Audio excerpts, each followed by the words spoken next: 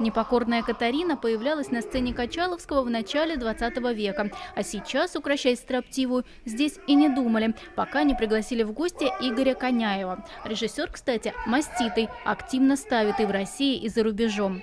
Просмотрев все спектакли афиши, он понял, казанскому зрителю не хватает именно такого Шекспира.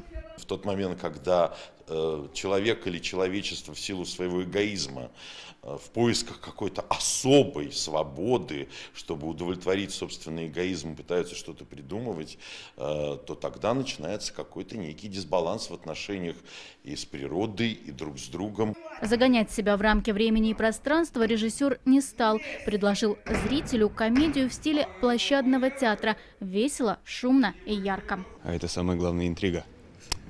Художник раскрасил спектакль всеми цветами радуги. Специально к премьере было пошито несколько десятков костюмов.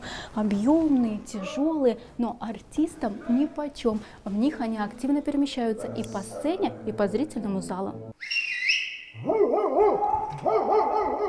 В этом спектакле актеры играют актеров, разыгрывают историю о Катарине и Петручо перед богатым лордом. Подчеркивают, идут строго по Шекспиру. Диалог со зрителем есть откровенный, то есть приемы в зал. И очень много... У нас такой балаган комедийный.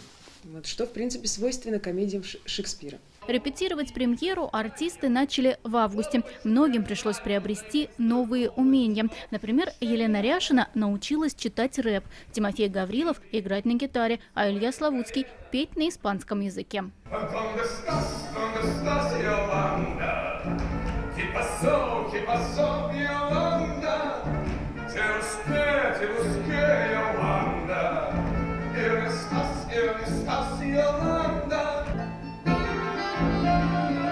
Маргарита Постнова, Рушан Гайнудинов, телеканал «Эфир».